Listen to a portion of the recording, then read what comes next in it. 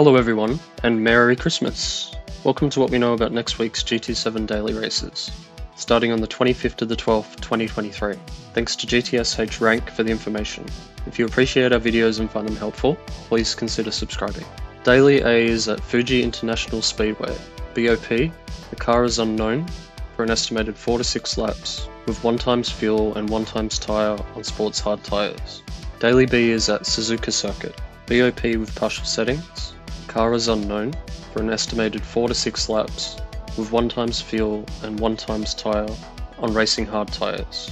And finally, Daily C is at Circuit de Barcelona Catalunya GP, no chicane. BOP with partial settings, car is unknown, estimated 8 to 10 laps, with 1 times fuel and 4 times tyre on racing medium tyres. Pit stop requirements are unknown at this stage. Hope you guys found this info helpful.